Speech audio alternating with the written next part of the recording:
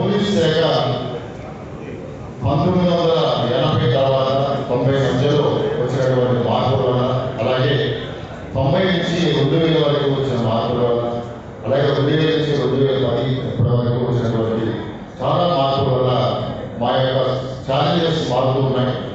గతంలో కేవలం traditional crime జరిగేది ఇప్పుడు సైకిల్ కానీ మోటార్లు కానీ పాత రోజుల్లో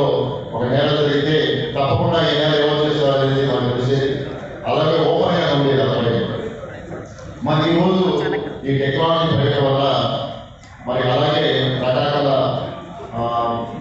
సామాజిక నేపథ్యాల వల్ల కూడా మరి పోలీస్ శాఖకి కట్టువేసిన ఈ సెల్ ఫోన్ ఎప్పుడైతే వచ్చిందో మాకు ఇప్పుడు ఏ ట్వంటీ ఫోర్ అవర్స్ మేము అలర్ట్గా ఉండాల్సి ఏ రోజు ఏ మెసేజ్ వస్తుందో ఏ టైం తెలుసుకోవడం లేదు.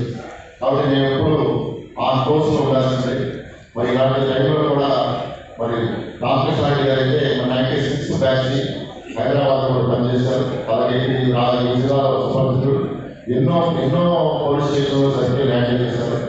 ప్రతి వెళ్ళిన ప్రతి చోట కూడా మరి మూడు పోలీస్ అధికారికి మూడు మూడు క్వాలిటీస్ ఉండాలి. ఫస్ట్ క్రమశిక్షణ డిసిప్లిన్ ఉండాలి.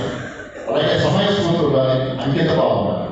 ఈ మూడు లేకుండా ఎవరు కూడా డిపార్ట్మెంట్ రాణించలేరు. ఈ మూడు క్వాలిటీస్ మరి ఒక అధికారంలో ఉండటం కాబట్టి మరి విజయవంతంగా మరి ఈ కొవ్వూరు ప్రాంతంలో సంస్కృతి చేసి ఇలాంటి ప్రాంతంలో పనిచేసి మరి మరి ఒక్క రోజు కూడా మరి ఒక్క సంఘటన కూడా విమర్శించకుండా ప్రజల యొక్క మన్నన పొంది మన సమర్థవంతంగా ఈ సర్టిఫికేట్ పనిచేసి మరి అక్కడ శిష్యుడిగా మళ్ళీ ఇక్కడ ఈ సర్టిఫికేట్ తీసుకుని రావడం అనేది మనందరికీ ఆనందదాయకమైన విషయం.